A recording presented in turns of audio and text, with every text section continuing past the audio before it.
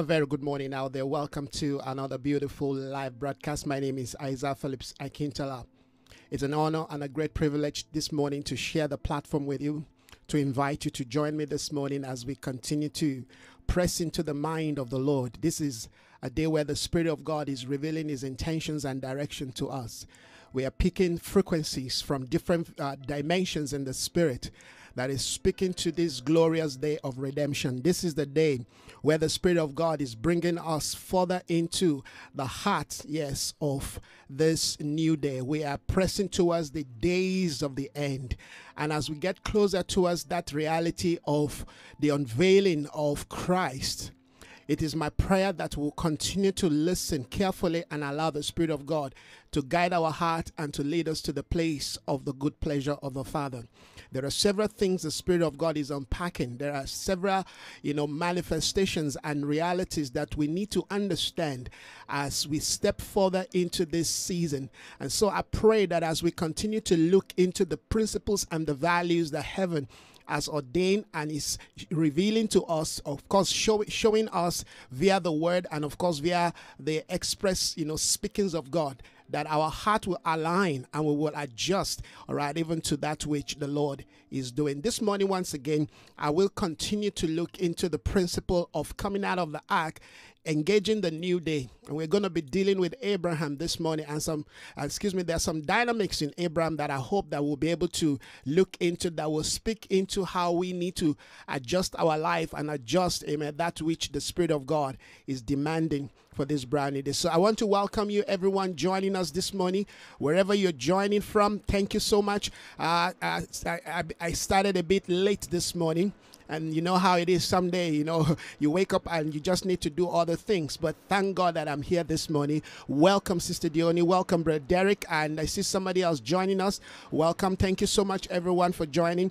We want to thank God for another beautiful, glorious day. Well, it's raining here in Franschhoek. The weather is a bit cold this morning, but we thank God for this beautiful weather. We thank God that eh, you know the Spirit of God is doing something new, even in our city, in our nation, in our community, and we'll continue to stand and believe God for great things, even in our nation, in our city. We'll continue to pray for uh, those in leadership. We'll continue to pray for Cyril Ramaphosa. We want to believe that God will continue to infuse his mind with the spirit of wisdom and excellence, that he'll be able to have the spiritual resolve and the capacity to be able to make the right decision that needs to be made. We are in a day where decisions needs to be made and they need to be made in this in the spirit of excellence, in the spirit of truth, and of course in the spirit of courage. Because whenever we make decision, we will, we will be challenging, amen, the status quo. And I believe that there are certain decisions that need to be made in the, in this nation regarding the advancement of the people of God. Well, you may not hear me properly, and that's because it's raining. Well, my studio here is not soundproof, so uh, uh, pardon me if you're not hearing me properly. But I'm trying my best to give you, you know, a, you know, the best of quality of sound. So thank you so much. Let us pray this morning, even as we begin this brownie day. Father, we want to thank you. Thank you for granting us this great day. Thank you for once again giving us the privilege to be alive but not just to be alive, but to be alive in you. It's an honor, Father. We thank you. We celebrate your voice upon our life. Yes, though the situations out there may be rough and tough and sometimes discouraging, but we we we, we hear your voice, oh God. We hear that which you're saying. You said you're gonna bring us through this. You said, though we walk through the valley of the shadow of death, we are walking through it. We understand, oh God, that yes, even in transition, that we'll have to go through wilderness experience we're going through them. By the time we come out on the other side, we are better ready and prepared to engage. So we thank you. We know that all things are working together for our good because we love you, because we love you. And that love is not just based on our action, that love is because you have infused your spirit in us to be able to love you. There is nothing we can do of our own strength, of our own grace, without you empowering us. So we thank you for your Holy Spirit this morning that has empowered us again to be able to say, I love you, God. I love you, Father. Father. Thank you. You are the one that enable us, that quicken us. You are the one, oh God, infusing your very life in us in this brand new day. We thank you. We worship you. We exalt your holy name. Thank you, Holy Spirit, for being here this morning. Thank you for what you're doing across the nations, across the board, within your church. Thank you, Lord, that you have for yourself a people, yes, without spot, without wrinkle, without blemish, a people that will arise in this new day, that will reflect, yes, the redemptive reality of your intention. We thank you for spirit of truth. Thank you for the spirit of newness. Thank you for the spirit of grace. Thank you, Father, for the ability to break forth, oh God, without limitation, without hesitation. Thank you, Father. We honor your name. We glorify your name for this beautiful day. This is the day of the Lord, and we celebrate, yes, with the heavens. We celebrate with the earth. We celebrate what your spirit is doing globally across the nations. We thank you. We honor your holy name. Let the name of God once again be proclaimed. Let the glory of God once again fill the earth. The knowledge of your glory cover the earth as the water covers the sea. We thank you, God, that our voice, Lord, will not be stopped, will not be shut down. We will continue to raise the bar, the standard of this brand new day. We will continue to speak, oh God, yes, Lord, into terra firma. We will continue to proclaim, oh God, your will and your counsel, oh God, into the hearts of, of cities and, and communities, oh God, and society will be transformed in the power of truth. We thank you. Your word will go forth. Your spirit, oh God, will break forth. There will be, oh God, healing, deliverance, restoration, deliverance, restoration, transformation will take place, oh God, in homes, family this morning, in churches, oh God, pulpits, oh God, that are dry will receive, oh God, freshness, oh God, of your of your rain, of your water, oh God. Yes, voices, oh God, that have almost been shut down will be awakened this morning. We thank you for sight to see, ears to hear. We thank you for an awakening this morning. You're doing a new thing. And we celebrate you, oh God. We bless your holy name. Thank you, God, for the move of your spirit. Thank you, Father, for the move of your spirit. Thank you, Father, for the move of your spirit. It is your spirit that moves us. Without your spirit, we can do nothing. Without your spirit, we have nothing to say. Without your spirit, we have nothing to proclaim. Without your spirit, we have no standing. Without your spirit, we have no posture in the earth. Without your spirit, we have no voice in the earth. So we thank you this morning that your spirit is moving once again in our lives, oh God. We thank you. Honor and glory to you.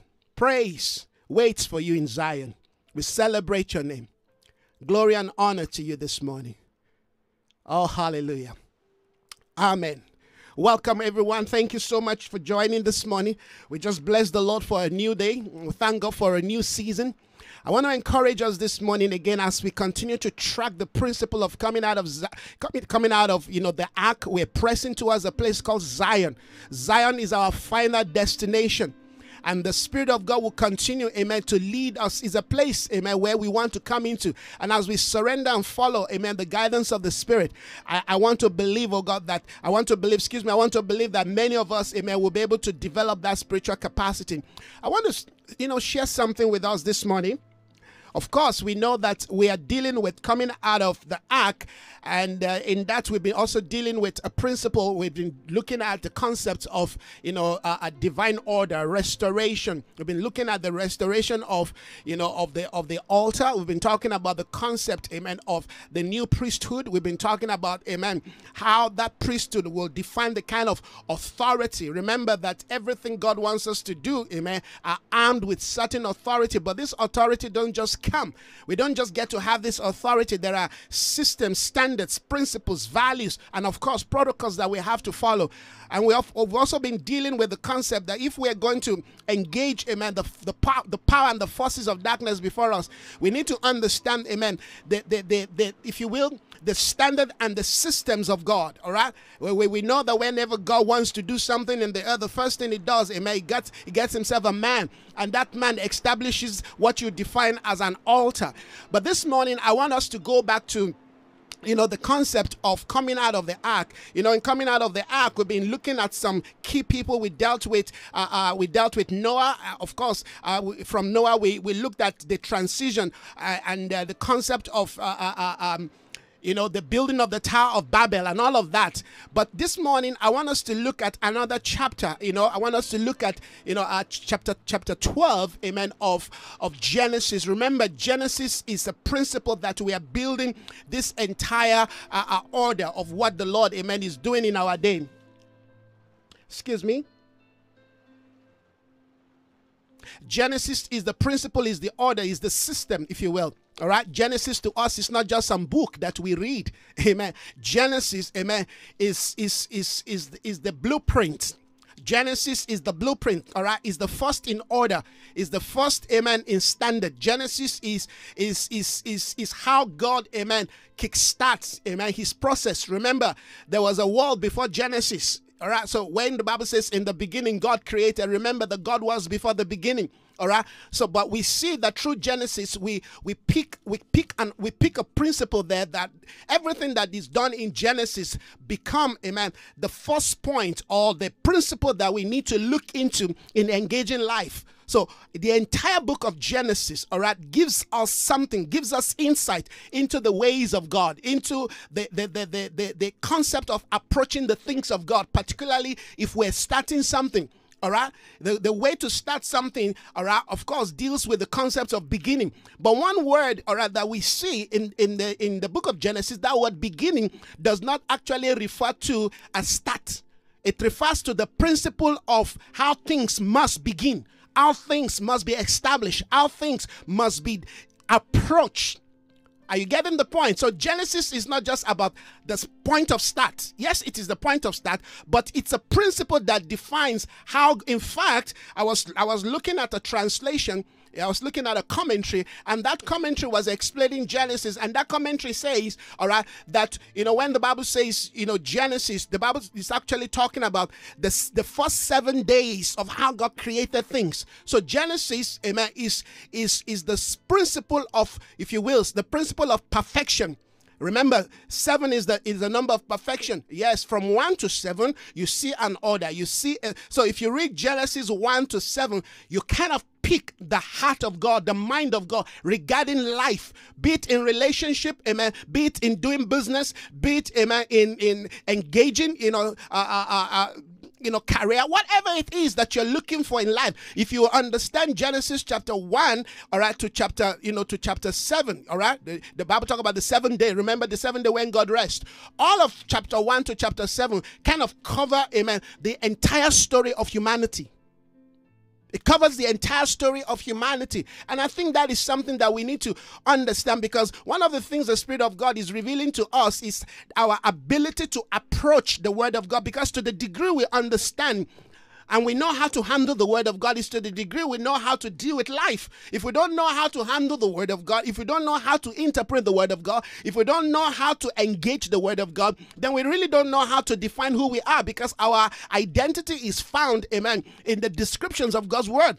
Our the word of God is our mirror. We look into the word of God and find ourselves. And as we find ourselves, we know how to relate with people all right? Regardless of how complex how difficult amen how beautiful loving they are we can always find amen people's understanding and definition of life via the word of god because the word of god amen is our reference. The word of god amen is our is our blueprint is our standard all right? Now one of the things that i want to explain all right this morning as we deal with you know the concept of genesis you know chapter chapter 12 in the principle of coming out of the ark. Remember that is a word that we're tracking. We're coming out of the ark coming out of of the ark, amen, has become, you know, a, a prototype of how we approach life, how we deal with, amen, uh, uh, this concept of new beginning. All right, they've given us new beginning. All right, we, we, we have we have left the day of the of the coronavirus, if you will all right? And there are all kinds of definitions and interpretation to what the corona you know uh, pandemic and attack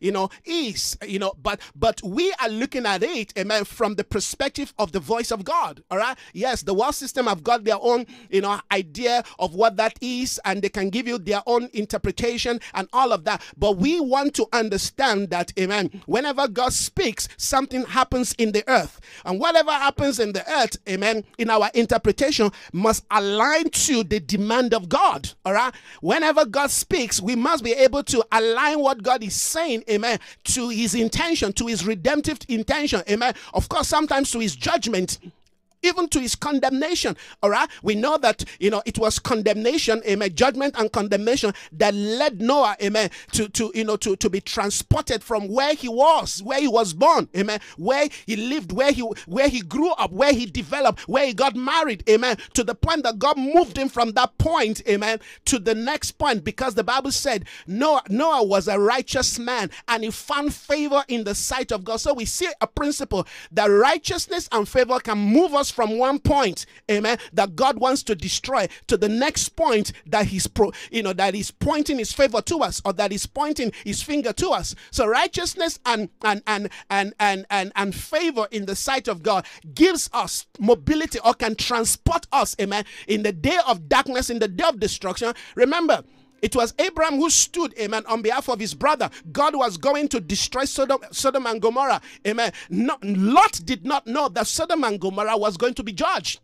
Remember when he lifted his eyes, he made a he, made a choice. Yes, when when he departed from his his his, his uncle, the, the, the, the, uncle said, "Lift up your eyes." You know, you you make a choice, and he made a bad choice because of amen his ignorance, because of his spiritual ignorance, because of his lack of knowledge. All right, he, he said, lack of knowledge is is is is beyond the resource that is that we have or we don't have. Knowledge has nothing to do with all right what we have because uh, uh, we saw that proximity can bring can bring us into into wealth. Proximity proximity can bring us into wealthy place. Yes, another principle I'll share with you regarding proximity, the sons of the prophet. The scripture said they, they made a de- demand on the prophet. They said they wanted to expand where they were staying. They said this place that we're staying is too is too small for us. So because of their proximity, you see, when you when you walk in certain proximity, you have access to certain to certain grace, to certain blessing. To it's not because that you deserve it, but because of your proximity. You know, proximity can help us to to to accelerate in in favor and blessing and goodness. So because of the proximity of Lot all right, with of course with his with his uncle Abraham, the scripture said, all right, he he, he, he was he was blessed, he was rich, but this guy has not been tested. This guy has not has not really gone through the process of developing wisdom. All he was learning in the house of Abraham, amen, was to accumulate wealth. He wasn't learning wisdom from Abraham. He wasn't developing capacity. He wasn't developing the ability, amen, to become a leader someday. Because the moment he was he was asked to make a one choice, the only choice he will ever make in his life. Lift up your eyes. He, he looked, amen, and he decided by his by his kana, kana eyes. He looked by his physical eyes, amen. He saw the Bible says he saw the plain, amen, of Sodom and Gomorrah, like like the lush, you know, Garden of Eden. I mean, when he looked at Sodom and Gomorrah, when he looked at that place, the place looked like Sodom, excuse me, the place looked like the Garden of Eden. So you can imagine. I mean, anybody will fall for that. That's to tell us, amen, that when you're connected to somebody like Abraham, all right, that your eyes must not be set on the wealth, that you must be looking for wisdom. You must be looking for something, amen, that will make you grow and mature. Because in the day of the test, amen, of Lot, amen, he goofed. Like I said, the same principle applied to all right the you know the sons of the prophets. All right, their proximity. They were in the house of the prophet. Of course, they were all apprentice. You know, so so they said no, no, we want to expand because I guess they were they, they, they, were not the only prophetic school. They were not the only you know guys around. There were other. So they they were like you know they're like those you know like the sons you know the prodigal son. They said no, uh, we also want to expand. We want to grow. I mean, I want to be like other people. I also want to prove a point that we have arrived. You will, you will notice that you know the, the, the prophet was was reluctant. He said, Okay, go do whatever you want to do. And the Bible says they went to borrow an axe. I mean, you don't want to build the things of, of the spirit. You don't want to build the things on the spirit based on what you go to borrow. And I understand that today there are a lot of us that are still living on borrowed understanding, borrowed wisdom. What I mean by borrow means that it is not birthed by you. It's not something that that you know that that came out of your own loins. You heard it, amen, and you ran with it. You heard it and you ran with it. Amen. A lot of people today are running ministry, lives, amen, marriages based on borrowed idea, based on what they read, saw. You know, some people's life is a, is the extension of Muvhango, whatever they call that program. You know, your you know seven day Delan and all of you know the, how they run their life, how they run their home. Amen. Is based on what they watch on the TV. You know, on soap opera. It's based on what Hollywood tells them. It's based on what somebody told them. It's based on what they read in a book. It's good to be informed, but whatever amen, informs you must first transform you. Whatever inform you must first transform you before you can apply it. All right. If an information has not become part and parcel of your life, you don't want to use it. You want to test it. The Bible says, test all spirit, test all knowledge and information. Test it. If you, if you have not tested it and you go use it, it, it may cost you. And so this was the problem. All right. The, the, the, the, Bible says that, you know, the sons of the prophet, they said, oh, we, we, we, we want to expand. There was nothing wrong in expanding where they're living, but it wasn't time. But guess what? They put a pressure on the prophet. The prophet said, Go ahead. And for, for, for us to, you know, understand what they were doing, the Bible says they went to borrow an axe.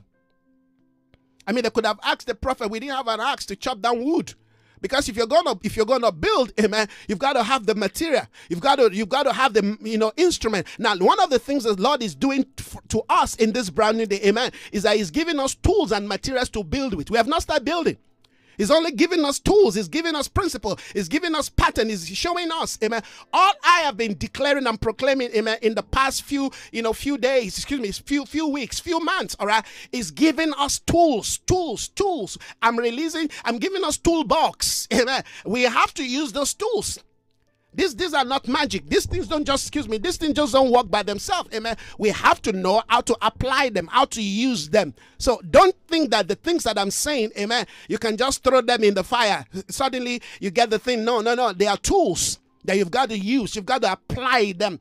All right. And part of what I want to talk about this morning is the, on the concept of that application all right? Because transition is not about all right uh, uh, or rather new beginning It's not just about okay we're starting afresh. No there's gonna be there's gonna be a transition. And when there's transition ah there's all kinds of you know emotions there's all kinds of you know challenges in psychologically. There's all kinds of battles that you're gonna be you see because it's not easy for us to move from one point to another. New beginning amen is about transition. New beginning is it's about god saying i need you to shift from where you were, all right, to this point, to this place. This is the point that I am right now. This is the place that I'm going to be dealing with. This is the place that I'm going to be speaking from. This is the point and place that I'm going to be guiding you from, all right? It, so you've got to live where you are. So God is proclaimed new day. God has proclaimed, amen, a new point. He's shown us where he wants to engage life, all right? But we have to Remember, movement is not just a physical thing. Movement, amen, is, is, is a mind thing, amen, is an is, is a psychological thing. Movement, amen, is a state of the mind. Movement is a state of how we think. Movement is a state of how we reason. Movement is a state of how we how we see life, amen. Is is our perspective. Movement is a perspective. Amen. Movement is is understanding. Movement, amen, is a choice you make. Amen. You can remain in a particular place and still be moving and still be moving. You're tracking with God. You're moving with God. Movement is not a physical thing. All right. You you, you can change jobs, amen, and still not change. Amen. You can change wife and husband, still not and still be the same people. But some people think, oh well, if if I can just leave this man, if I can just leave this woman, my life will change. Sometimes it's not the, it's not living of the person. It is actually you shifting, amen, how you see things. Amen. Sometimes, most time, our battle are perspective. Amen. Our perspective are they are they you see because that same person that you're fighting every day with. Amen. If only you can just look at that person from a different perspective. You know what Jesus said? He said, "Father, forgive them." I mean, these are evil people. These are evil people, but he could he could he could relate back to them, amen, in anger. He said, Father, forgive them. The, the entire sin of the world. I mean, you talk about Roman Empire wickedness. You talk about all kinds of. He said, Father, forgive them. Listen, for they do not do, they do not know what they are doing. All right. Now that is a perspective of maturity. That's a perspective. Perspective is what redeemed humanity. Perspective change, amen. How how how how Jesus? I mean, Jesus could have condemned. Jesus said, I could have called down 12 legions of my father to deliver me. The issue is not about deliverance. The issue is about going through a process, amen, via a perspective, amen, that aligned, that, that is in sync, amen, with the Father. So sometimes God wants you to be in that fire, not because you cannot deliver yourself, not because God cannot deliver you out of the fire, but because there's something bigger that you're not seeing. There's something more, more, more grand. Amen. I mean, the world, the Bible says, if if the prince of this world knew, if they knew uh, Jesus defeated the devil via a higher wisdom, if the prince of this world knew, he would not have crucified. So when the devil was crucifying Jesus, when the devil was, you know, lambasting Jesus with all kinds of pain and all kinds of things, listen, he thought he was winning. You see, weakness is never is never an expression, amen, of, of, of lack of, of lack of wisdom. Sometimes in our weakness, the Bible says, amen, his strength is what perfected. you didn't hear me? You didn't hear me? What I'm sharing with you this morning will help you to know how to how to transverse, how to transit, how to move and navigate, amen, the, the days ahead. Because listen, friends, I'm not gonna lie to you. There are challenges coming our way. And in this transition, amen, that we call new day, new beginning, all right, sometimes it's gonna be bumpy, all right. We're gonna we're gonna be suffering from all kinds of emo- emotional, you know, uh, uh, you know, issues. We're gonna be dealing with all kinds of moments and and and and all kinds of things that will want to draw draw us back, drag us back, amen, and make you feel like you are not actually making progress. And and how you look at life, how you look at yourself, amen, it's gonna be amen, important because how you look at things, amen, will define your next course of decision. How you look at things. You see, you can look at me and decide. You know, a lot of people can be looking at me right now and have different conclusions based on what they're hearing, based on what they see. All, amen, has to do with your understanding, your perspective. You see, immature people cannot listen to what I'm talking about. People that are not ready to learn, that are not ready, amen, to have that sense of higher wisdom, higher understanding. You know, say, what's this guy talking about? Because they cannot see, amen, the wisdom in what I'm saying. You understand? There are people, there are churches that we go to, they just want, you know, the God of miracle that happened now, now, now, now. The God that answered by fire. Fire does not just happen now, now, now. Before fire fell, amen, there've been principles, there've been things, hallelujah. Before the rain came, there've been things that have been processes, amen, that have gone, hallelujah. Be, be, be, before things can happen, amen, we've got to understand that there are certain things that must that must have been done, that have must been planted, amen. But people just want to see result. Result is as a result of process that we don't see. Result is as a result of processes that we don't see. So I want to, you know, kind of bring a balance to many of the things that we're talking about because I don't want you to jump into conclusion. All right, I don't want you to jump into con- because if you jump into conclusion, you're gonna end up like John the Baptist, who was asking the question. Go ask him, are you the one to come, or should we be expecting another one? Yes, yes, yes. Journeying with God sometimes can be, you know, can be tedious if you lose sight. Journey with God, amen. In most cases, can be very tedious, can be tiring if you lose sight of what He's doing. Listen to this. I was listening to, you know, uh, uh you know, uh, uh, uh a podcast this morning, and this man was saying, faith Listen to this. We all need faith to, to, to live, to exist, to be able to walk with God. But do you know the Bible says, Amen? Looking unto Jesus, the author and the finisher of our faith. Jesus is the author of faith. I mean, it dawned on me like a brick this morning. It's like somebody just hit me with a brick. You know, Jesus is the author. You know the reason why people cannot have faith. You know the reason why people will argue and say, No, I don't believe this God thing is not real. It's not real because they don't have Jesus in their life, because Jesus is the author of faith. You, you cannot have faith, amen, without Jesus Christ in your life. And just having Jesus, amen, it's not just a mouth thing. You've got to have a relationship because having a relationship with Jesus, amen, allow you to begin to hear. You want to hear the heart of Christ. You need to have a relationship with Him. It's not about going to church, it's not about this religious thing that we do. And this is why we are doing what what we're doing. This is the process where we're developing, amen, a relationship with Christ. And sometimes I tell you to make that transition of saying, I want to have a relationship with God, amen, it's going to be difficult. Why? Because you're living, you are living where you were where you are you are used to. You're leaving your father's house. That's what I'm talking about. Abraham, you're leaving your father's house, amen, to a land that he's going to show you. Friends, if you've been used to people, you've been used to the environment. You, I mean, imagine you're South African. You you've been used to you know the, the the the environment, the life, amen, the culture, the beliefs, everything that defines you as a South African. You understand? You can walk into a bank, all right, and and, and as long as you find, all right, they can give you, you know, uh, uh, you know, credit. They can give you, you know, a loan. You know, you don't even need to walk into a bank. You, through your phone, you can just, you know, you know, you know, cash in, you know, a, a loan to do whatever you want to do. I mean, it's that easy. Listen to this. That that seemingly luxury in some other places, some country, that is like it, it, it, it can never happen. You understand? Because you live in a world, amen, that is credit credit based, credit run. Where I come from in, in, in West Africa, no, no, it doesn't work like that. If you want to buy things, you want to do things, you've got to have your cash. I remember saying people, you know, that the first time I bought my car, I paid cash. You know, saying to some guys here in South Africa, they, I mean, their jaw almost drugs. Like, what? You mean you paid cash to buy a car? I said, yes. I mean, to them, that is impossible. Yes, because the environment you live in defines the quality of your faith. If you live in an environment that makes everything easy for you, what do you need faith for? Why would you need faith? So, this is God saying to Abraham, Live, amen, that which you're used to, the, the economic lifestyle, live, amen, the, the, the, the, the political environment, live, amen, the people that, that, that have defined security to you, leave your father's house to a land I'm going to show you. I mean, that is the epitome of faith. And that's why most now we call Abraham the father of faith. No, Abraham expressed faith, but Abraham, amen, is not the author of faith. Abraham showed to us how to apply faith. But if you want to have faith, you need to have Christ. Are you getting the point that I'm making?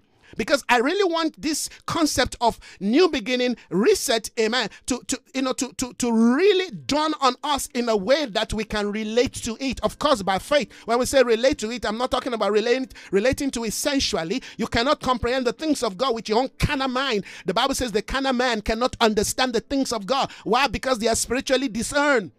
So we need to understand that, all right, yes, we're dealing with certain principles and values, but those values and principles, amen, must become part and parcel of our psyche. They must become part and parcel, amen, of how we live life, how we think, how we reason, amen, how we look at. Have you seen the point that I'm making right now? How we how we engage life. You can look at things, amen, and conclude.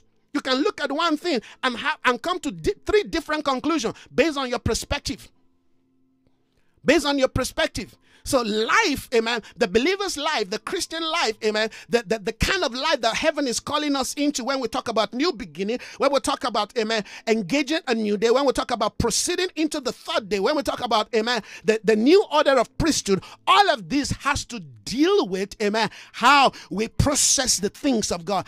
Because how we process the things of God defines how we interact in the earth, how we connect, amen, with people, how we deal with issues, amen, in the earth. We have to look at things from that perspective because if your perspective is wrong, your conclusion, amen, will always be wrong.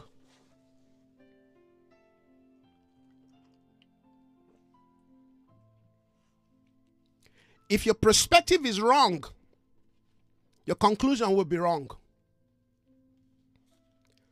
So while we're hearing all these beautiful, powerful, you know, teachings and and and and, and uh, principles and values, if it's if it's been accepted, amen, on the wrong perspective, our conclusion would always be wrong. So I, I, want us to understand what the Spirit of God is saying in this moment in time, all right, is that we need to develop a higher perspective. We need to, higher perspective, of course, demands that we have, amen, a walk with God. And this is what the life of faith, which deals with, amen, a, a, a connection with the prophetic spirit. You know, how the prophet, our prophetic people look at things is different from the way everybody, all right, look at things. You know, how the prophet comes or our prophetic people come into conclusion how they're able to come into conclusion is totally different from the way other people come into conclusion.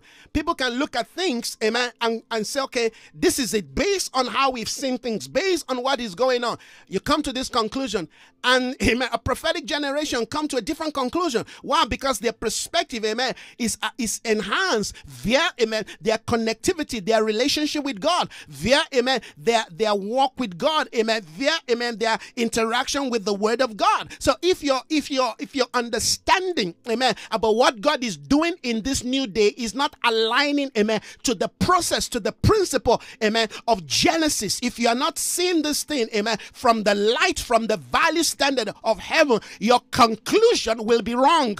Even if you have all the you know so-called prophetic word and all these teachings that isaiah is doing you'll be living a different life but what God is demanding and calling us into is we got to take all this truth that we're hearing, amen, and begin to align them to our our life. And that's where the challenges is. Because you know, we, we are human beings. Human beings based on certain, you know, uh, uh, uh, uh um orientations and uh, uh, and beliefs and you know habits. We we we we have formed certain you know understanding and value system, you know behavior about uh, to to life. All right. Yes, our life is a summation of the things that we have imbibed, we have come to accept. Say, this is who I am. Who you are, amen, are, are layers of value, standards, you know, you know, characters, behavior that you have come to accept. Some of the things that you define as part of your life are totally, you know, against the laws of God. Now, those are the things God wants us to begin to have sight into. You cannot, you cannot, you cannot live, amen, in your blind spot, amen, and believe that the things of God is going to work for you, amen. If you if you have blindness, you go the you go to the house of sight all right. If you can't see things accurately and properly, you go to the house where they're able to work to give you sight. Yes, because your sight will then allow you or help you to know how to what make decision. Amen. We are the product of what we see. We are the product of what we see, and what we see is how we conclude. Amen. Yes. If you can't see things from the from the right perspective, of course you'll be seeing them from the wrong perspective. It, it, that's just that's how it is. Amen. We can either go right or we go left. We can either be right, right or wrong. Amen. We can either be in truth in the in, in, in accepting truth or we are walking in error. Eh, there's no in between. you, you get the point. So having an understanding of what the Lord is saying and, and doing, particularly, you see, this is a message to the body of Christ because this transition amen is going to create all kinds of things it's, we call it new beginning reset it's not an easy thing. You know, eh, eh, you know, when we say reset, it's not as easy as just pressing the button, reset. and then everything just automatically no because when god is dealing with humans amen god deals with all the various faculties that's why the Bible says we must what? Present ourselves. Presenting yourself to Christ as a living sacrifice means you're presenting every every sector, every aspect, every ounce of your strength, everything that defines who you are, your perspective, your views, your values, amen, your understanding. Every aspect of your life must be presented to God so that amen, Christ can then walk on those things and reform them. He said, Be not conformed to this world, but be transformed by the renewing of your mind. The renewing of your mind is that the mind of Christ becomes what guides you, becomes what leads you, becomes what teaches us, amen, to you know to follow. Hallelujah. So that is very important. That is not just about, you know, uh, well, I'm renewing my mind so that, you know, the devil, some bad thoughts will not get into my mind. No, that is the transformation of an entire life. Renewing your mind deals with the transformation of your entire value system. Who you are today is based on the decisions that you have made. Your decisions, amen, are, are, are the product, amen, of your values. Your values, amen, are, are based on the things that you have come to believe and accept. That's just the, that's just the truth. Amen. We, we, we, we don't just wake up one morning and then we have this person called Isaiah. Isaiah Phillips, amen, is, is, is, a, is, a, is, a, is a culmination, amen, of events, of, of beliefs, amen, of values, of culture. Yes. You got to understand that. So, if I can locate in my life certain values that are not supposed to be there, when I mean values are not supposed, in other words, those values are not aligning, are not speaking into God's God's will, are not aligning to God's standard it is my responsibility, amen. Regardless of how long it's going to take me, it is my responsibility to look at what God says regarding my life and begin to apply those principles in those hard areas that I have come to believe and accept. You know, there are certain areas of our life that we think we cannot change because we've tried several times. Maybe the reason why we fail in those areas, amen, is based on how we approach those things. If we approach, amen, the, the, the, the, challenges of life from amen the position of christ from the strength of christ from the wisdom of christ from the perspective of christ we will change things. Think about that. Amen. To accept failure itself amen is to accept a principle that negates the values of god in your life. Did you hear what i've just said? To accept failure regarding any aspect of our life. When I mean failure, in other words, uh, uh, I've been trying this thing, it's not working. I've tried it several times, it's not working. Maybe this is what God, amen, has desire for me. Maybe this is the plan of God for my life. You come to a wrong conclusion because you tried it four, five, six, seven times, maybe 20 times. All right. Remember that concept we we shared some time ago. Yes. The prophet said to the king, you know, strike, you know, strike the ground. After he asked him to, you know, to shoot the arrow, then he said, You strike the ground. He struck the ground how many times? Three times, and he stopped. The, prophet got angry with him. He said, you, you should have struck five or six times, and you would have defeated this enemy completely. So, see, the attitude of the king, amen, was reflective, amen, in his approach. The same thing, you know, uh, uh, the, the, the Syrian, you know, uh, uh general that came to the prophet.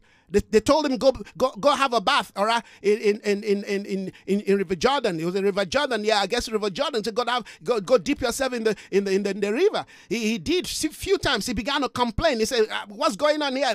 the, the, the, you know the, the the little damsel girl said, "You know, if the prophet asks you to do this, go do it." And by the time, amen, he did it the seventh time, the Bible says his skin became like that of a baby clean completely you know new new skin. Now there is there is there is something about faith here that we've got to understand. If there is anything right now we need in this season in time is that we need the faith of god to help us break through the limitations the challenges that will be amen facing us that, that will be facing. As we move moving amen demands that we move against opposition. Movement demands amen that we swim against the tide. Jesus said come guys let's go to the other side. And the bible says amen amen. And the and, and, and the boisterous wind came, amen, to challenge the word of the Lord, but he was sleeping. You see, we've got to understand that if, if because the, the, the, you know they, they told us it's a new day, it's a reset, that things are just going to work out freely. No, it's not going to be. It's not going to be. All right, there's going to be resistance, and the resistance, amen, starts from you, amen. What you believe. Start from your values. The resistance that you are going to face in stepping into the new day, amen, will, will, come from your, your perspective, amen. How you see your life, how you see your environment, how you see yourself, amen. How you see the word of God, how you see things. The resistance is going to start from you. Before you start looking at people resisting you, before you start looking at some devil, no, the resistance will begin from, amen, your own perspective, your own understanding about the things of God. So there's going to be a lot of correction, amen, in this in this in this new day. That's what I'm talking about. Amen. Starting afresh, beginning afresh means looking at things and adjusting them, amen, to the way the Lord will require them. You see, I, am not going to give up. I'm not going to allow the enemy to push me, amen, and say, well, this thing is not working. Listen to this. If this is the standard, if this is what God says, if this is what God demands of me, that is what I'm going to become. That is what I'm going. Listen, I don't care how many times I fail. That is the attitude you've got to develop. If you don't have, if you don't develop that, you know, you know, uh, a die-hard attitude, amen, a continual process and pushing. If you don't develop that, listen to the the devil will weary you. The enemy will worry you. He will use people, situation. He will even use your own family member, friends, colleague, amen, to weary you. Yes. That's part of the tactics of the enemy. It will weary you until you submit. It will weary you until you give in. You see, how many times have you tried this thing? It's not working. Come on, look for something else. Are you going, do you have a, a benchmark point in your life where you are going to turn away? Can you be can you be persuaded, amen, by the by the voice of Naomi to turn back? Naomi said, I have nothing to offer you guys. My son is dead. Even if I have another one, amen. I mean, it's of no use. I, I, I, you, are you getting the point? I, which point are you going to get to in your challenge of life that you will turn back and go back to your own people? Because what, what we're dealing with, amen, is not going back to your own people. Let me take you quickly to, are you seeing that, are you seeing how, how I'm approaching the process, amen, of Genesis 12? I've not even opened to Genesis 12, but all that I've been talking about, amen, deals with Genesis chapter 12 because we're dealing with the principle of faith in engaging the new day.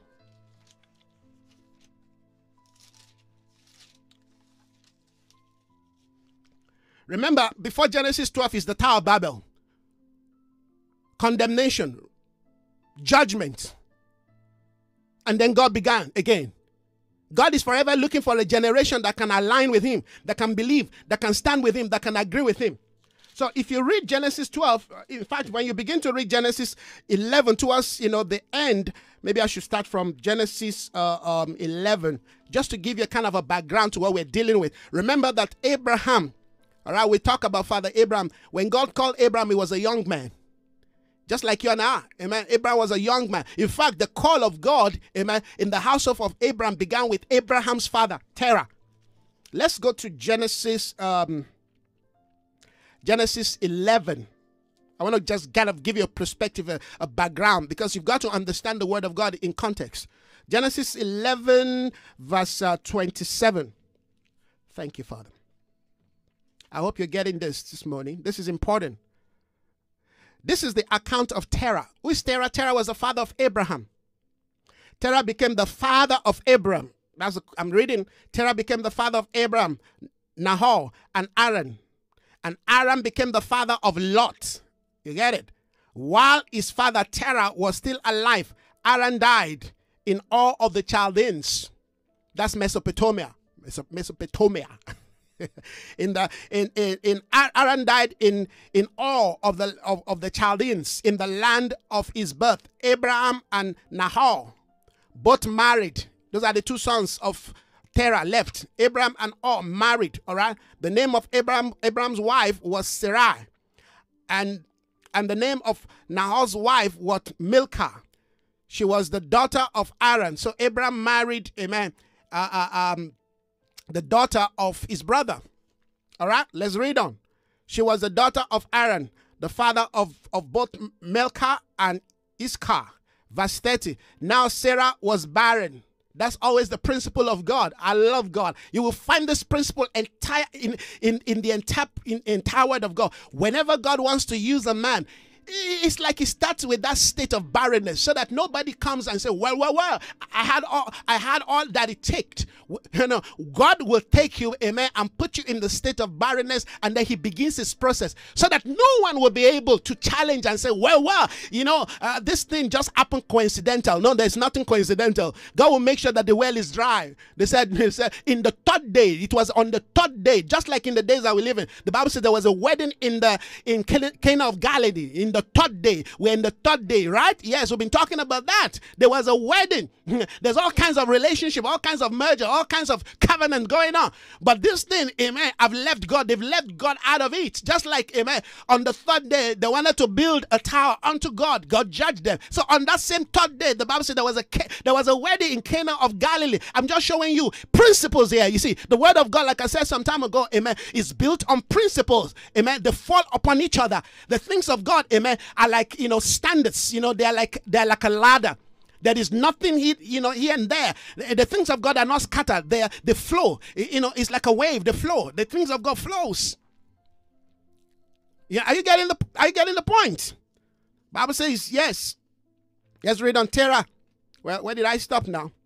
Uh now, yes, verse 13. Now Sarah was barren and he had no children. Terah took the son, Terah took his son Abraham, his grandson Lot, son of Haran, and his daughter-in-law Sarah, the wife of his of his son Abraham, and together they set out, amen. They set, they look at this, they set out from Ur of the Chaldeans to go to Canaan. They set out it, it, it, seemed, you know, the father of Terah, excuse me, it, it seemed Terah, the father of Abraham, had been picking a prophetic signal. Remember, back in the day, um, this this land of Ur of the Chaldeans is, is a well built, well established, is like your today America. All right? It was a well advanced, um, civilized society, even though they were idol worshippers.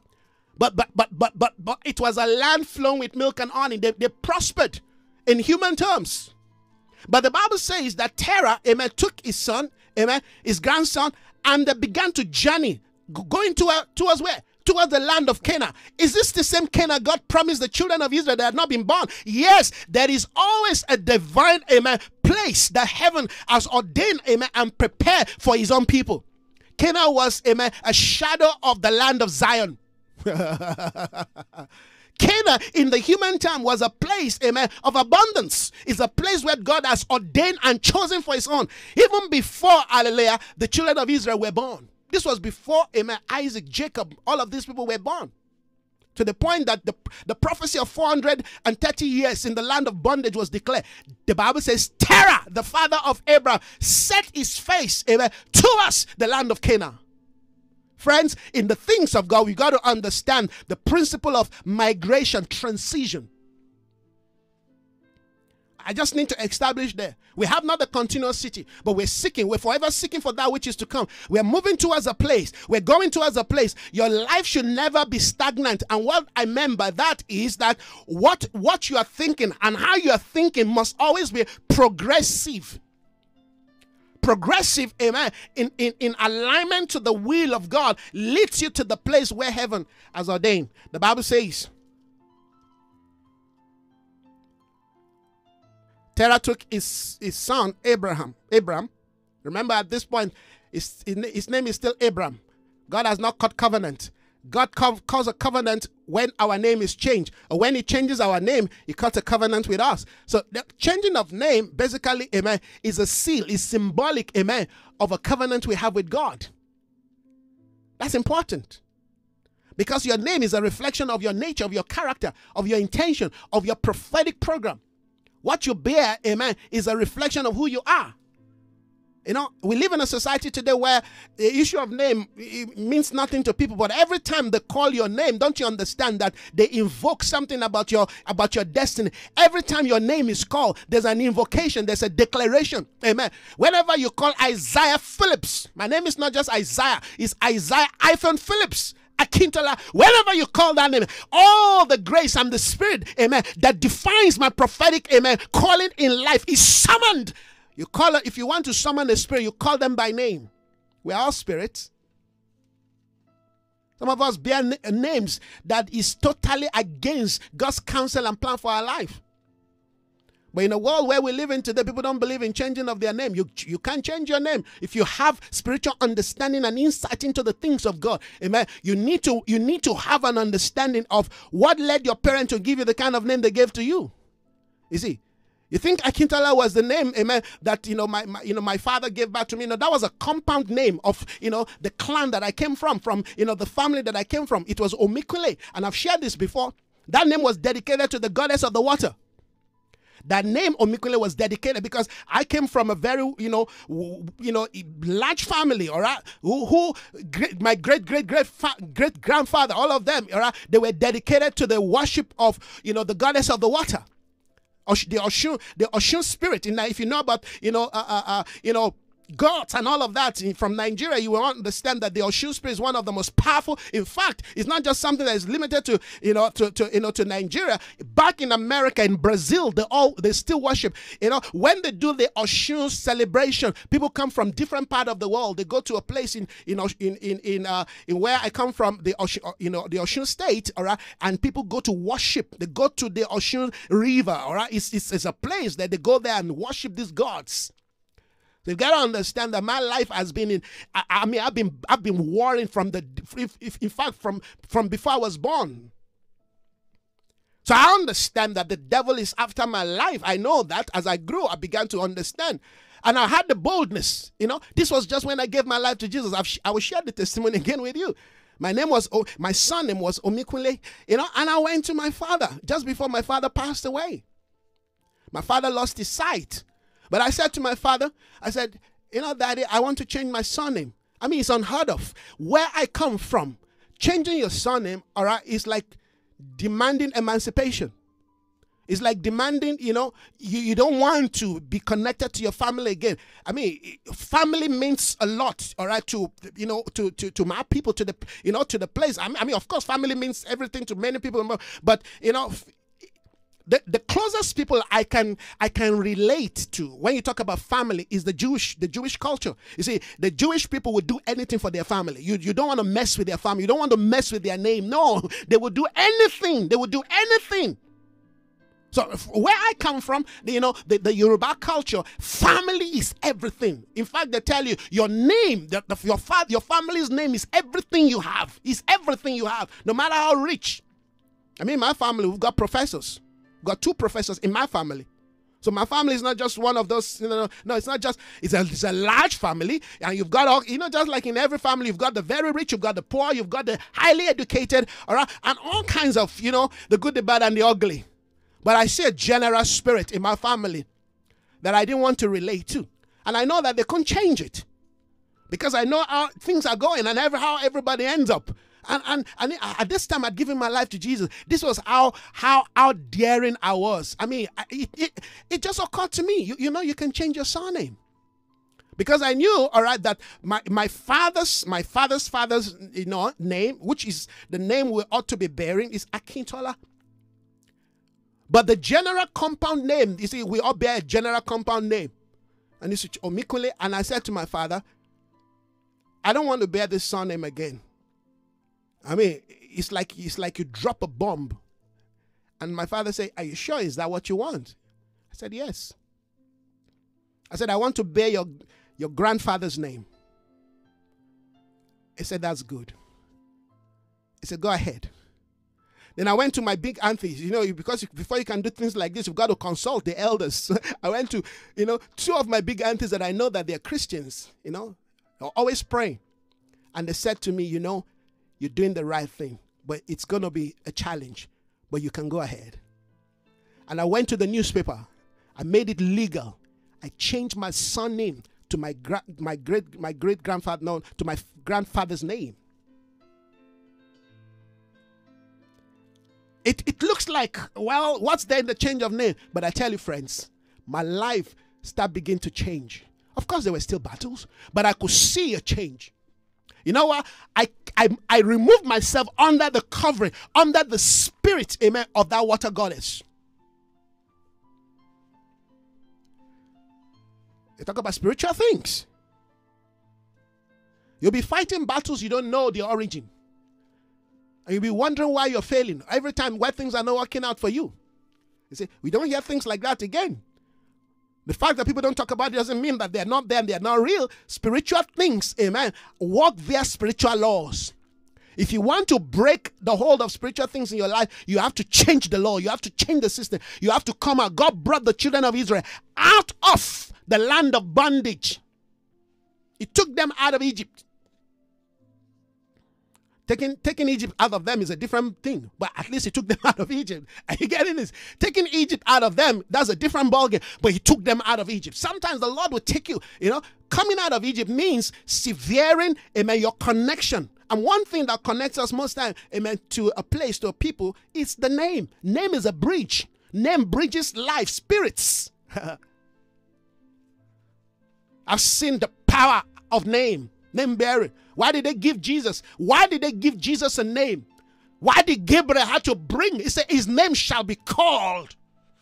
Why is it that when John the Baptist was to be born, amen, and his father wanted to name him Zachariah, and they said, Not so. His mother wanted to name Zachariah. He said, Not so. They said, What do you mean? Elizabeth said, His name will be called John. They said, But there's nobody that bears the name John in your family. What kind of a name is this? Nobody bears such a name. We're dealing with something here this morning because if we want to transit, we have to believe the Lord, amen, to re-examine our life. We have to really listen. This this this depends on your life. I'm talking about who you are, not what not what society says you are, not what your extended family says you are. You have to know, you have to define. New beginnings start, amen, with you. Like I said, the battle most time is not just an external thing, it is how you see yourself. If you live under a name that expresses pride, you will exhibit pride. You will exhibit pride. His name shall not be called Zachariah, not so. His name is John. So they went to Zachariah, who could not speak till this point. They said, what, what are you going to name this boy? He wrote it on the ground. His name will be called John. They said, Wow, what what what what kind of a thing is this? you understand? He confirmed what the wife knew. Why? Because the Spirit of God had already given a name. Listen to this. Your name speaks deep into your prophetic amen posture and condition. Some of the things, amen, that we are going to be doing in this last day will be invoked through the power of the name that heaven has given to us. Do you know that heaven gives us name? I'm talking about moving from Abram to Abraham Why? Because it's not just about the power of covenant. It's not just about God cutting covenant with Abraham. It's about God establishing a principle in the earth that those that will dominate, those that will take over, those that will rule the earth, hallelujah, will be those that have been so named by heaven. His name shall be called Emmanuel, God with us. Every name carries a meaning. The meaning invokes a value. The value defines how far you're going to go. Are you picking this, friends? We're talking about the concept of coming out of the ark. We're dealing with, amen, the concept of new beginning, establishing, amen, the, the, the principles, the values of God in the earth. This is it.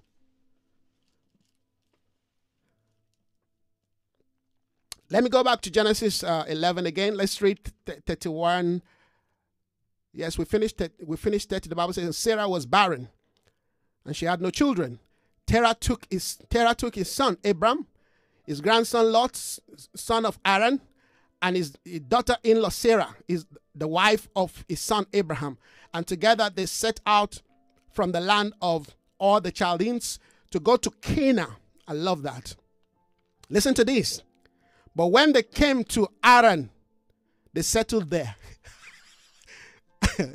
when they came to Haran, they settled there. Where, where, where did, where was their journey? Where was the, the, the destination of their journey? Cana. Terah has set out to go to where? To the land of Cana. Cana ought to be their destination. It seemed that God somehow spoke to Amen Terah that the next place I want you, amen, I, am pointing you to, I'm leading you to. The next place of my move, the next place that I'm going to be establishing my voice from in the earth is going to be the land of Canaan. Terah picked it as a, as a signal, as a prophetic signal, and they set out. But remember, the scripture said, Amen, that is, let me go back to, let me go back to, you're going to pick something here. Let me go back to verse uh, 27 of uh, Genesis 11, the Bible says this is the account of Terah. Terah became the father of Abram, Nahor, and Haran. Haran became the father of Lot. While his father Terah was alive, Haran died. Haran died. Listen to this. As they were journeying, as they were journeying to the land of Canaan, to the land of the promise. Canaan has always been the land of the promise. Ever before the children of Israel were in bondage, ever before, hallelujah, Abraham, excuse me, ever before, you know, uh, Joseph went to, you know, to the land of Egypt ever before Jacob came, amen, with the 70, amen, to the land of Egypt, ever before the people of God were kept in bondage to the point that they spent 430 years, ever before that, God had already given a word. Canaan is a land of the promise. Oh, I'm picking something in the spirit. But the scripture said, Terah in his journey with his with his son Amen. His son's son and the daughter. The scripture said, when they got to where? When they got to the land of his son. Remember, Terah, excuse me, Haran was one amen, of the son. He died. Terah, excuse me, Haran was the father of who? Of Lot. The Bible says he died. In other words, back in those days, when, when you grow up, when you become a son, when you grow up, the first thing they give to you is a land. You you go and take your own land. You go to your place. You go, you establish yourself. You you know, God help God help our people today. Let me not even go into all of that now because I'll be I'll be I'll be distracted. Let me go back to this point that I, I want to establish. But this is very important. The scripture said that as they were journeying to us, let me read it again. When they came to Haran, they settled there. Terah settled. He could no longer journey. When he got to amen, the, the land of his son, as they were journeying, they were moving, they left amen, all the land of Chaldea, and they were they were going with Abraham, amen. They were going, Abraham, Lot, and his wife, as they were moving towards where? Where were they going? Where were they going, friends? Come on, repeat it after me. they were going to Canaan. But when they got to where, when they got to Haran, Haran, remember back in those days, the name you bear becomes the name of the land. That's why I told you earlier on that your name reflects something. Your name is your inheritance. Your name is your heritage. Your name defines a place. They got to a place called Haran. Haran is the name of his son. Terah could not journey further. He was overwhelmed he was overwhelmed by emotion. He was captured by the death of his son. He could no longer journey further. The Bible says he settled. He settled in, a, in the land. I'm sure by now you're picking, you're picking. There are certain things that we ought to pass. Certain people that we ought to pass. But when we when we get to you know their their their junction when we got when we get to their place when we get to their location because of the connection the emotional connection sometimes is a spiritual connection but this connection is has become stale. It's become a past thing they're dead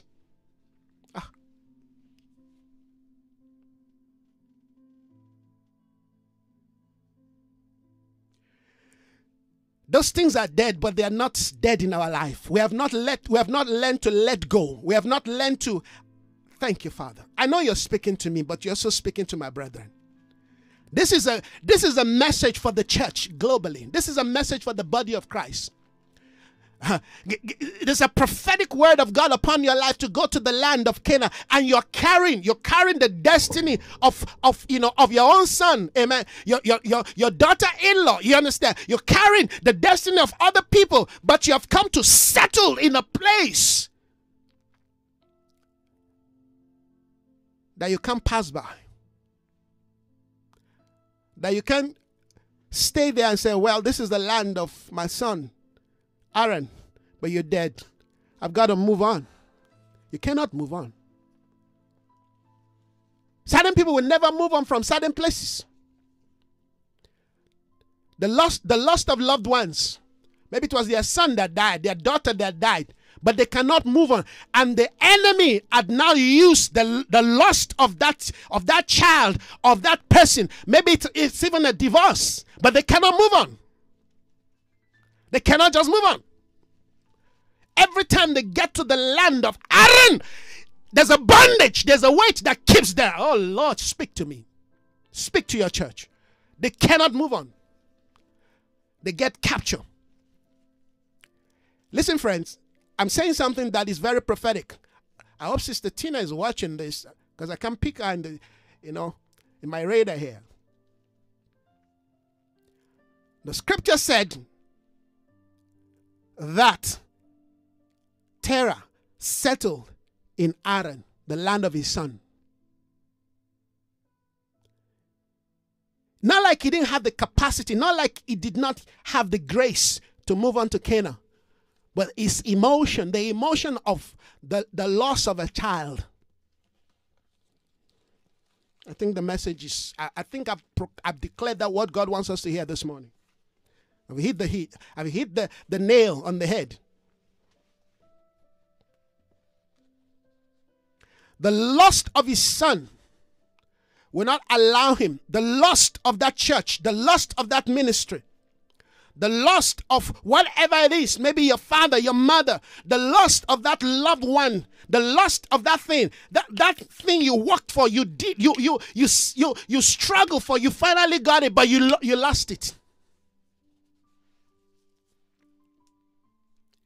Such a thing can, de- can deprive you of stepping into your prophetic season, the prophetic new day of God over your life.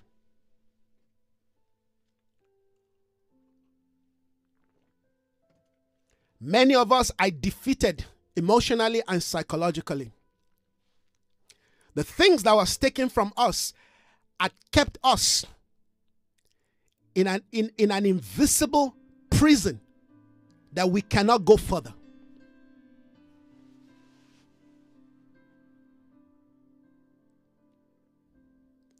Is there in your mind 10 years after. You're still processing that thing. 20 years after. I know what I'm talking about because I, I, I, I lost I lost a loved one in my life.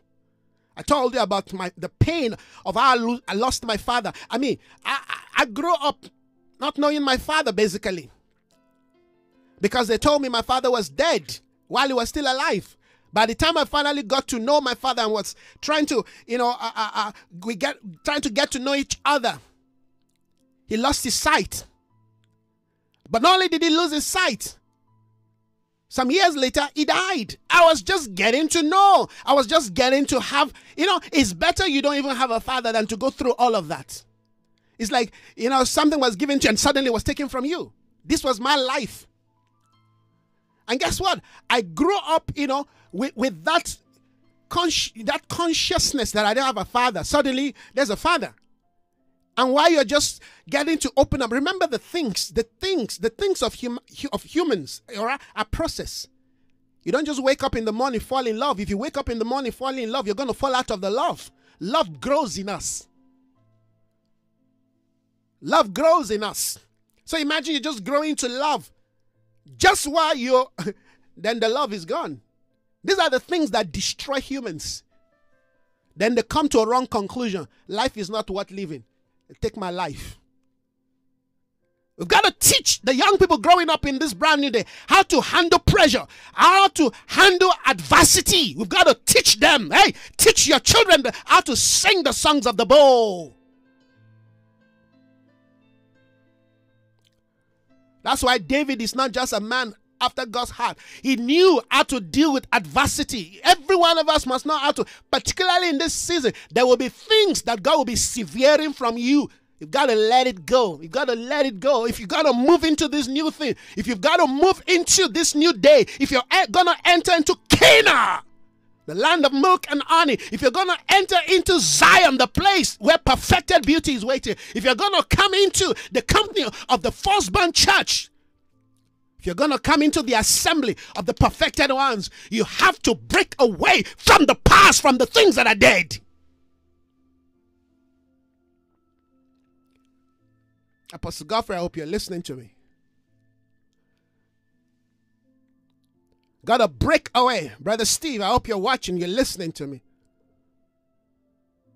Sister Diony, Brother Derek, I hope guys are listening to me. Let this word sink deep into your spirit. You've got to break away. It's not an easy thing to break away from your past, to break away, particularly when that past, amen, has an emotional connection. And when, when, if you don't break that cord, that umbilical cord, if you don't break, you will, you will, you will die, amen, in soul tie, soul tied to the things that are dead, but you have not allowed them to to be severed. Dead things that are not severe from us will begin to stink around us to the point that people will begin to assume that we are dead also. I know it's not an easy thing to let go. But if you're going to go on with God, if we're going to move on with God, if our nation is going to move on with God, if South Africa is going to move on with God, we've got to let go and stop living in, in the shadows of apartheid. It's time for a new generation to rise up and begin to see the future. I said this some time ago. It is weak leaders that are always blaming the past. It is weak people that are always blaming the past. We all have a past, and the past, in most cases, are painful. But guess what? We cannot step into a new day if we don't know how to break away from the past. Terah, Laba Shayanda. Terah could not, his feet could no longer journey further. I'm talking about the concept of Abraham in, in progressing into the new day. When God was done with the generation, hallelujah, of Noah, God began, He looked for another man in the earth that He can walk with. Whenever God wants to move in the earth, He's always looking for a people. He looked for a family. He looked for a people. He searched and he's listen, Abraham was not the first point of call. Terah was. Terah was the first point of call to go to the land of Canaan. It was not Abraham. It was when God realized that Terah can no longer move on. Amen, Brother Steve. Thank you. It was when God realized that Terah could no longer the you see there are certain things our fathers can no longer do. Aye.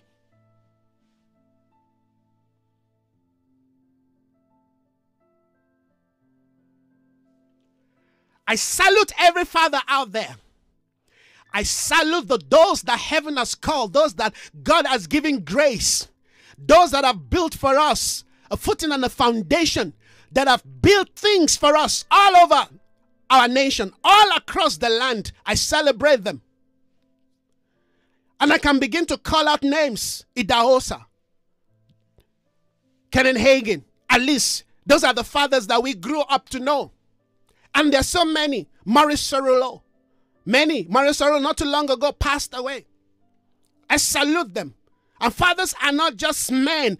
You know, you you look at somebody like, you know, uh, uh, uh, uh um, eh, I mean, you know, this lady, Barbara Allen.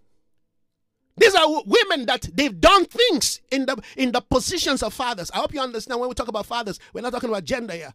We're talking about those who carry the grace and the spirit to birth things in the earth and to lead us further.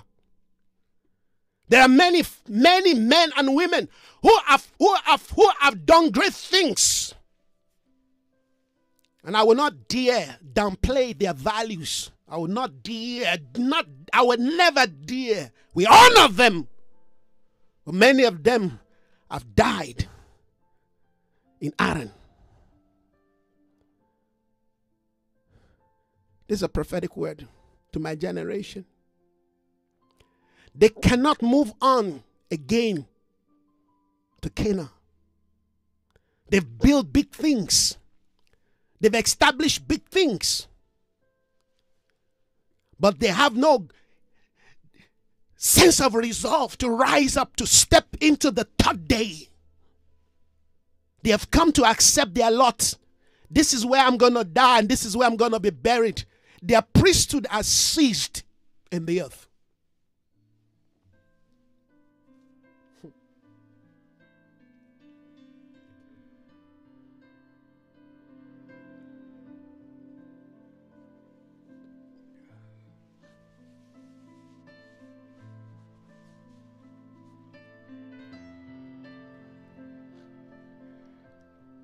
When a priesthood ceases, you don't want to hang around it. You've got to honor it, you've got to celebrate it, but you must move on.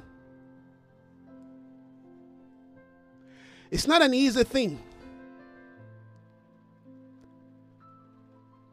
to begin to chart a new path, particularly a path that your father cannot see. When God said He's going to do a new thing, this is what it means. It's pouring down as I'm speaking now. It's, it's raining. It's like God is just sanctioning His word with this rain. Thank you, Father. I, I feel something as we touch this point. I feel something in my spirit just leap for joy. And of course, with burden at the same time. Friends, what we're, what we're touching now will stir emotions some of you, maybe you're weeping, you're crying, I don't know. But this is the word of the Lord, this is the voice of God. And some, if we make the mistake to stay too long in Terah, we will begin to lose the vision of Canaan. If we make the mistake to stay with our father in Terah, excuse me, we, you know, in, in Haran, we will, we will make the mistake, we will, excuse me, we will lose the vision of, of what God wants to do.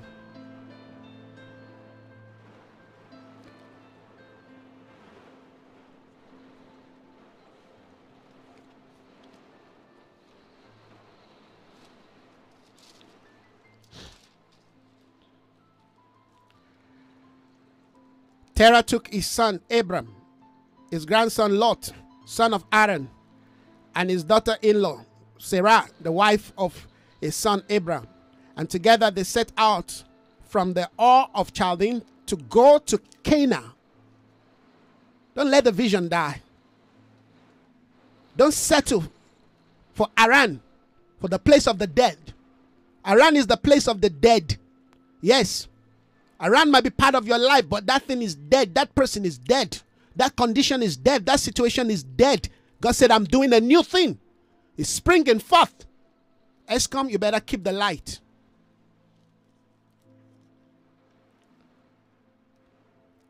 The scripture says, they settled. They set out, excuse me, they set out for Canaan, but when they came to Haran, they settled there. They settled there. They settled there. Let me read verse 33. Excuse me, 32. Terah lived 200, 205 years and he died in Haran. He did not die in the place he had set out as a vision. He died in Haran. The Lord said to Abraham, You see, it's a flow. Back in those days, there's no chapter. It's a flow. It's one word flowing. Remove the chapter. It's still a continuation. It's still a continuation of the speakings of God. The Lord said to Abram, Leave your country. Leave your country, your people, your father's household, and go to the land I will show you. I will make you a great nation. I will bless you. I will make your name great, and you will be a blessing. Amen. I will bless those who bless you. The land that God was going to show him, even though God not, God did not tell him at the initial, we of course we later understood that that land was where Canaan. Yes, it was the land of Canaan. In fact, when Abraham finally got to Canaan, the Bible says he set his eyes on a city whose builder and maker is God. Because Canaan was a prototype, was a shadow of amen, that, that which is to come. Abraham continued where his father could not reach. As I round up this morning, I want to encourage you, friends. Let the faith of Abraham rise in us. The faith of Abraham is the faith of new beginning.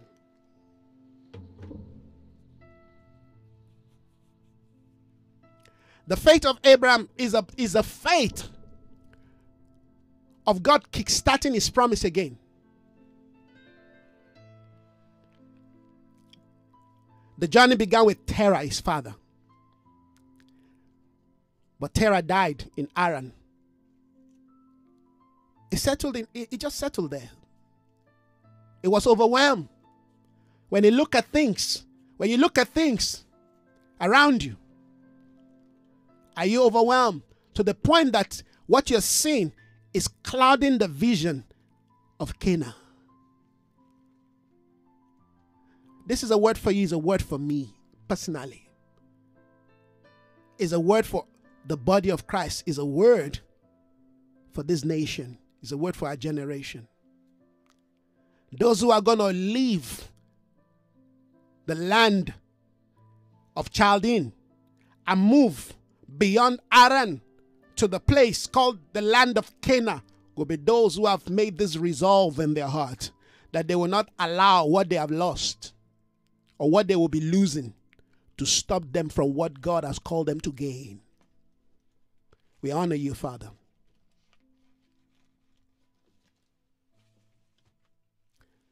Thank you, Lord, for the fresh word that you are giving to us. These are words that only the mature can pick. I stand in awe of you, Father. I rejoice in such a word. Every day is fresh. It's like you just have something new. And I know, Father, that even though I feel so unworthy to bring this kind of word, I stand in awe of you. I am I am shocked and surprised with the things coming out. But it's because you need a mouthpiece to speak to your church, to your people. What a word of hope. What a word of encouragement. What a word.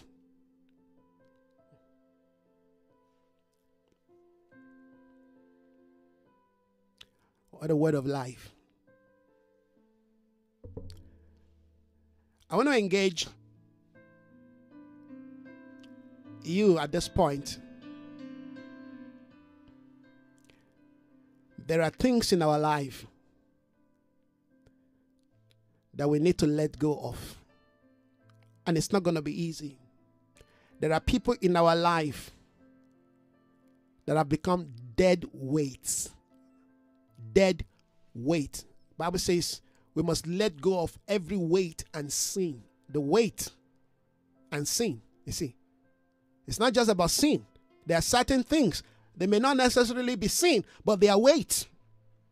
Say, say he's got to let go of every weight and sin. So the weight is not the sin, but the weight is not supposed to be in our life.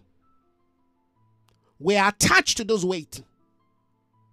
We can't travel light. We can't climb the hill of the Lord because they become weight in our life. Emotions. Wrong expectation. You know, this morning I was thinking about when I was thinking about this message, I was just, you know, thinking about it.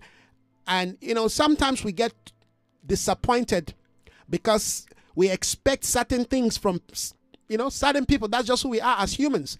Every human being have some sense of expectation. And you may be expecting people to do certain things, maybe for you or for your family, ministry, or whatever. And they fail you and most of them, not because they want to fail you, but because they themselves are not aware of what is expected of them. So, how do you expect? How do you how do you place hope or expectation on people that are not even aware of their sense of sense of you know uh, uh, uh, uh commitment or sense of you know uh, uh, involvement or grace or gift to you towards you. you, you, you, I, this is just something God was dropping in my spirit. Of course, this is how God speaks to me because you know I, I like to understand people. I, am a man of people. I'm sent to people, so I've got to understand people. And you find yourself maybe sometimes get even angry with them, but you don't need to because those people are not even expecting they're, they're not in the in the in the in the in the mindset of doing something or giving something or you know contributing something towards the advancement of whatever it is. They're not even aware of it. You can only expect from people that are aware, amen, of their responsibility, commitment, amen, or involvement in a relationship. If, if, for example, if your wife, amen, does not have the understanding of certain position as a wife or husband, how do you expect her to respond or him to respond regarding what you're expecting? You see, we we we we demand expectation based on assumption. And this is where our Lord showed us a principle Father, forgive them, for they did not know. He wasn't expecting them to save him because he knew, amen, that they have been what? Captured in blindness. They've been captured in darkness. So, how do you expect light from a people who are in darkness? How do you expect love from people who do not have a sense of love for themselves? How do you expect them to give you love? That's the point that I'm making. So the problem is not them, the problem is you. When you place hope on people that don't even know that they have amen, the grace to, to extend hope. I mean, you, you you you should be blaming yourself for for you know for placing wrong expectation. You should expect things from people that you know have that sense of maturity, that sense of grace, amen, to reach out, that sense of I mean, if you want to if you want to receive counsel, you don't go to counsel, you don't go to people to get counsel, you know, from people who who you know better than. That's the point I'm making. You go to people who know better than you. You approach people you believe who know better than you. Not, like if any other person come into your life and give you counsel, you won't take it. Of course, you will take counsel from anybody. But if you're expecting counsel, you're expecting counsel from somebody, amen, who is 10 times better than you. That's the point that I'm making. So if we don't have that kind of understanding, we will be making mistake and we'll be, you know, creating all kinds of sorrow. And sometimes we expect certain people to know certain things, but unfortunately, they don't know it. And that's also when you take people on the face value. If you, if you if you make decisions and you connect to people based on face value, you'll be making a wrong because you really don't you, you don't have insight into what those people amen, are going through. So don't don't come to a wrong conclusion. Don't jump to a conclusion. That's why our expectation must always be from the Lord. And that's the point, that's the place that I have always sought to stand from and relate. My expectation is of the Lord. I want to encourage you this morning, friends. Whatever it is, whoever it is in your life that needs to be let go, you got to let them go, or else they become a burden and a weight that keeps you in Haran, and you never get to move to Canaan, the land of the promise. What a word heaven has given to us this morning. What a way God, amen, has spoken to us this morning. What an expression. What an impact. We thank you, Father. As we receive this word, we receive it on behalf of this nation, South Africa, and on behalf of the continent of Africa. Because there's a lot of things that has happened in the past over this nation, over our continent, that we need to move on from, we need to break away from, so we can enter this new reality of this new day. So, Father, as you speak to us, we respond in obedience. We know, God, that yes, there's going to be war and battles and challenges in our minds. Because when we're used to certain things, we develop false, false expectation and false sense of security. Man don't want to be insecure. But our insecurity speaks deep into the state of our lives. And that's what you want to deal with. They set out for Cana. They got to Haran. They settled there. And Terah died there, 105 years. And your word came to his son, Abraham. He had to carry the bag of the journey. And you said to him, Leave. It's like you were dealing with something that connected to his father. It's like you were healing Abraham. You are breaking, yes, you are breaking something from Abraham that was connected to, to Terah, his father. Leave your father's house, leave your country. Leave Haran because they settled in Haran. So God said, I don't want you, Abraham, to remain in Haran. Haran is your brother, he's dead, but you've got to move on. I've got something bigger for you. It's a land that I want to show you. We thank God that Abraham responded. Faith always respond in obedience. Father, we thank you this day. May these words sink into every aspect, every fiber of our being. May we be processed. Whatever we must go through, we need to go through it, but we refuse to remain in Haran. We, rem- we refuse to live under the shadow of Terah, our father. We are Abraham. We break away. We're coming to the place of the new covenant. He said, In blessing, I will bless you. Father, we thank you. We bless your holy name for your word, for your spirit and grace that is outpoured upon our life. We know that we are not alone because you promised Abraham you will be with him. He said, Those who bless you, I will bless. Those who curse you, I will curse. So we thank you that this day, Father, we receive grace to move on to the place of your good pleasure. In Jesus' name. Amen and amen. Well, the Lord has surprised us again. What a word. What a prophetic declaration. What a prophetic instruction. We want to thank God for this brand new day again. Please, I beg of you, share this message to as many as you can you can you can you can share right just sh- keep sharing just connect just make sure that people amen get hold of this word. We want amen the body of christ to come into truth to come into freedom to come into liberty. And this is why god i believe has spoken this kind of word. This is not something i prepared in my mind. Yes i knew god is speaking to us about abraham but I mean, I wasn't thinking of Terah, you know, as as the as the main message. But what a word this morning. Thank you, everyone. May the Lord continue to empower you. May He continue to grace you. May He continue to bless you.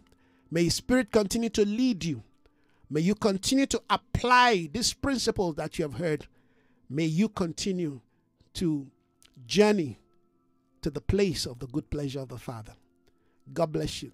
Have yourself a wonderful, blessed morning. Well, it's still morning. The day is still very young. All right. Um, it's, it's raining here, but uh, we thank God. We give praise to God. Wherever you're watching from, wherever you'll be listening and watching or be listening to the audio from, may God continue to expand this truth in your heart. You want to later on download the audio and listen to it again and again and again until the word expand and permeate every part of your being. May faith rise in your heart to advance to the land of his promise. Thank you so much, Sister Dione, Brother Derek, or Sister um, Stan Kumisa, and of course, uh, uh, Brother Stephen. Thank you for joining. Uh, any other person out there this morning, wherever you are, if you're joining us, thank you so much. If you've joined us to listen, oh, thank you, my dear brother. Some fun. Amen. Baba today, thank you, Apostle, Bishop. Oh, you are the one. thank you, my dear friend. Nice to have you join this morning. All right. Only God knows where you are today. I don't know if you're in Canada, you're in America, or you are, God knows where. You are like a man that is carried around by the wind. God bless you. Nice to have you join this morning. Thank you. Thank you, Apostle Godfrey. Nice to have you join us too. Thank you. God bless you, sir. All right. Okay. Thank you, everyone. Have yourself a blessed morning. And of course, if you want to, uh, you know, share something with me along what you've received this morning, please, I'll be more than uh, uh, uh willing to to hear and share the testimony, whatever it is. God bless you. Make sure, amen, you enjoy your, your day. God bless you. Bye bye.